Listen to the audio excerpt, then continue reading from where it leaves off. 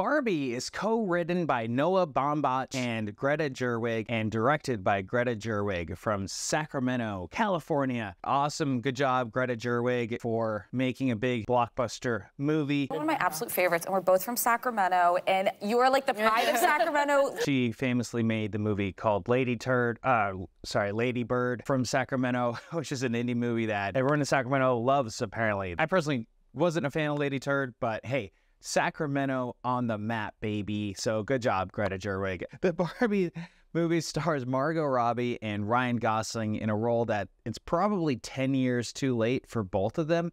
Although the thing is, Ryan Gosling pulls it off. Like, Ryan Gosling just slays this whole movie. He is having fun, he is hamming it up.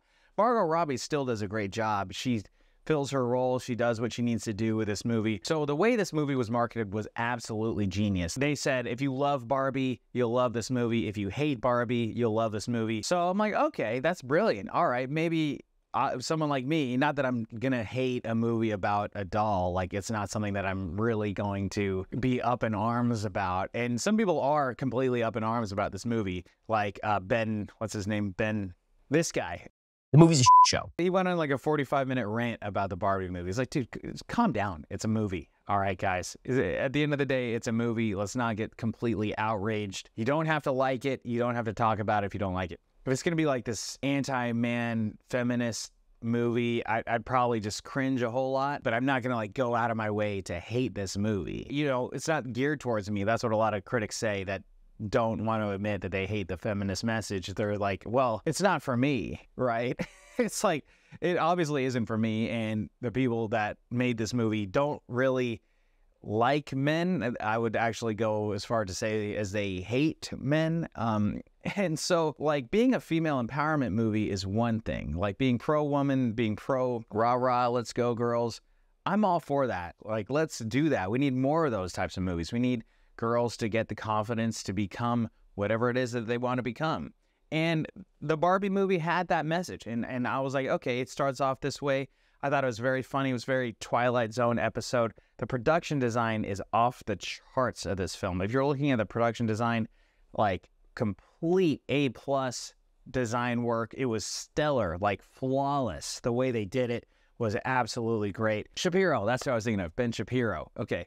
So uh, lunatic, yeah, well, it's like ah, Ben Shapiro, ah, Barbie movie. You know, it's like, dude, calm down. This movie is made for no one. Barbie is a Barbie girl living in a Barbie world, and I love the the gags, the side gags that are in there. Like she turns the water on and it doesn't work. She's drinking and there's nothing there. The shoes off. It, eh, you know, that's definitely going to be a, a scene that everyone's going to remember, no matter what. I'm like, that's brilliant. I thought it's really funny. And it reminded me of a Twilight Zone episode of a character that doesn't know that they're a toy. And then they realize that they're a toy and now they're having this existential crisis. And I thought that that was kind of what it was going to be.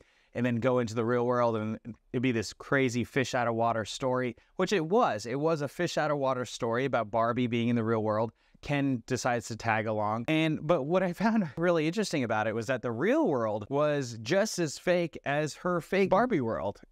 like everyone in the in the real world, every guy at least was this complete over the top male chauvinistic pig, horrible guys.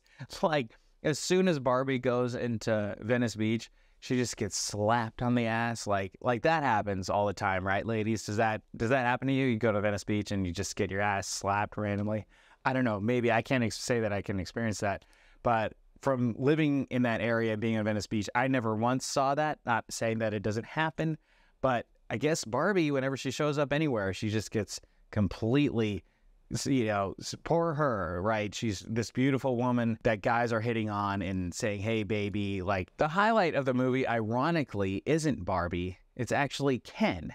Ryan Gosling is having the time of his life. He is having a ball, even though when he's get, given the material that is just absolutely anti himself alone, like it's completely like Ken is just this idiot eh, doll, like afterthought type thing. Like, oh, no one gives a about Ken. He's just there. But he's this happy go lucky, like golden retriever type guy. Even if you hate men, you will love Ken and like I, I'm sorry, any feminist that's watching this that is raging anti-man, like I urge them to find a way, an excuse to hate Ryan Gosling. I mean, this guy is just he's like this golden retriever. He's this guy that everyone likes.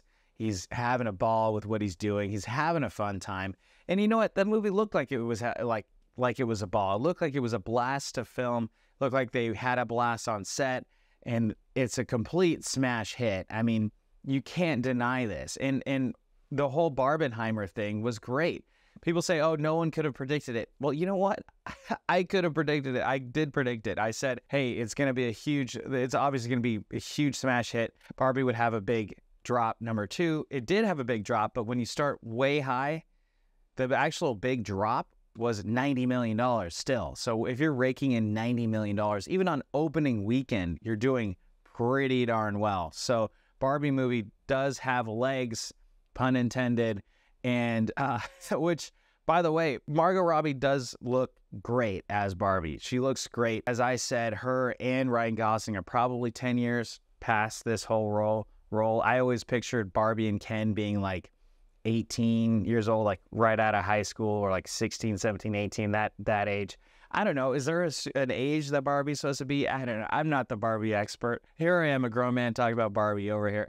Ultimately, it's a good thing because if a mom and her daughter wants to watch the Barbie movie, the husband and the son can go watch Sound of Freedom, baby. Watch Sound of Freedom, baby. no, just kidding. Watch uh, Oppenheimer. So Oppenheimer is another option, although I'm not sure if you're a young teen boy, if you want to watch a three hour long movie about um, the atom bomb. I probably would have been one of those kids that, that would have wanted to watch it. So I, I thought it was a perfect storm. It was a perfect storm. And when I went to see the movie, actually, I went to see Sound of Freedom that weekend. And I didn't pay for the Barbie movie ticket. I'm sorry. Sorry, Greta Gerwig. Sorry, Margot Robbie. Sorry, Ryan Gosling. Um, I, I couldn't bring myself to pay for this movie. I, I snuck in. Don't worry, it made a whole lot of money anyway. So I, I guess I was the only one not wearing pink in the theater, which is disappointing. I should have worn pink. But I my intention were to see was to see Sound of Freedom, and I did, and that was a fantastic, stellar movie with real characters that have real issues. Now, going back to fake characters that have fake issues, Barbie is that. She has all these problems that she has that she made up in her own mind all the women have all these made up problems that they think that they're have to be perfect and all this stuff. And look, I don't get, I don't know what it's like to be a woman quite yet, you know, but I'm transitioning. Just kidding. It's a bad joke. Um, but, you know, and, and of course, all guys are just bumbling idiots. Talk to a doctor. You are talking to a doctor. I need a clicky pen. No. A sharp thing. No. Complete jerks, chauvinist pigs. The patriarchy is is completely horrible. I, it got to be kind of like a joke where it, they're like, "Oh, the patriarchy's bad." Like, okay, all right. Like, no, it's it's really bad. If you guys don't know the pitch, the YouTube channel Pitch Meeting, they're hilarious. He put this precisely what it was. This whole patriarchy thing, it's bad. It's not good at all. That's uh-huh. And if you really think about it, the patriarchy is actually, it's not a good thing. I feel like you've gotten the point across. It's just not really fair, is it? the patriarchy, I mean. Yeah, no, I yeah, no, I understand and agree. Patriarchy, more like not good yarchy. Am I gonna get in trouble if I say even though I totally agree with the message, this is kind of a lot? Yeah, probably. Hey, check this out. What are you doing?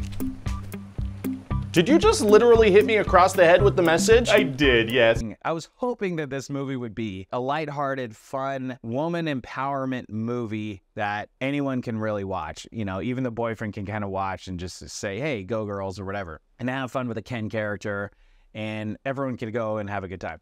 Instead, it turned out to be like a very anti man movie. Like every man was just horrible. There wasn't a single redeemable guy. Even Ken, they tried to make Ken to be this horrible guy when he's at this uh, Mojo Dojo Casa house and uh, like ruler of the patriarchy and then which by the way they wanted to have their cake and eat it too. They wanted to say oh we're not supposed to be just cooking and cleaning up after the men. But then as soon as ken comes back from the real world and instills the patriarchy into the barbie world the women loved it. The women absolutely loved the whole thing about it. They loved doing like so so it's like oh, wait so which way is it? Which way do you want to like what what what side are you choosing?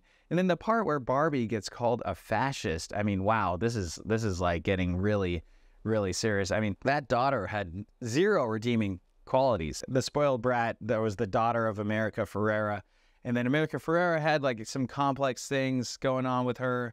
She was the one that was sad, having this existential crisis about Barbie. Her husband, shocker, is a bumbling idiot trying to learn Spanish. I mean, and there's not a redeemable guy in this movie. She goes to the board of directors at Mattel. Of course, they're all male chauvinist pig idiots.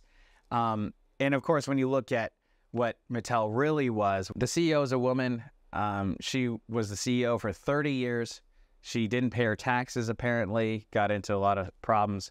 But half the board of directors are women in real life. So it's like, all right, this world that they're trying to carve into it, this whole men are horrible, women are the best, like it's just not I don't know. It's just it take it sucked the fun. At least as a guy watching it, I can only speak from the male perspective. It's it's it sucked a lot of the fun out of it. Where I honestly did laugh. Like the first 20 minutes, I'm like, okay, this this is pretty funny. And but then it just like in, in there was a lull in the actual theater where there were a lot of laughs the first like 20 minutes or so. And then there was a huge gap where there were like no laughs, especially when Barbie was like being called a fascist and she's like supposed to be feeling real tears. I'd, I'd honestly like laugh it off, like, okay, well, like, I don't, if she's a doll, like, she do, probably doesn't know what fascist means. So it was, it was very, very bizarre. And also, the co writer of this movie is this man named Noah uh, Beanbaum. Noah Beanbaum. He made a movie starring Greta Gerwig called White Noise. Anyone heard of this movie? No? Yeah, exactly. It's all these like pretentious type film type movies. And now he's co writing the Barbie movie, which is a big Hollywood smash hit. So it had this big perfect storm of I think with the controversy, it helped the movie. It, it pummeled it and it and it took it to that next level. Will it have longevity? Is it going to be dated in about three years? I hope so. I, I believe so. The best part about the Barbie movie, other than Ken, was the production design. The production design of the film was spot on, A plus. I give it an A plus rating for that production design. For a movie, look, uh, you know, I'm not gonna say I was triggered by it. I, I was definitely kind of just cringed a lot during this movie. The audience was dead silent pretty much three quarters of the movie. They did laugh the first 20 minutes. They actually laughed towards the end too. I give the movie Three out of 10, baby. Not the worst movie I've ever seen, but three points for the production value. Good job, guys. Good job, Greta Gerwig. Uh, she's got a very, very bright future ahead of her. Uh, Margot Robbie, of course, is great, and Ryan Gosling is the man. Is that too harsh? Three out of 10? Mm, I don't think so. What do you guys think of the Barbie movie? Leave that in the comments below. Be sure to subscribe if you want to subscribe and see more movie reviews. This is Movie Day, the day where we talk about movies. By the way, guys, I'm a filmmaker, creator, writer, director, producer myself. I make my own movies as well, but I love movies and I wanted to create this show on my channel so I can channel my thoughts of movies. The next movie that I will be reviewing is Oppenheimer. So stay tuned for that one. Please subscribe if you haven't already, and I will see you next time.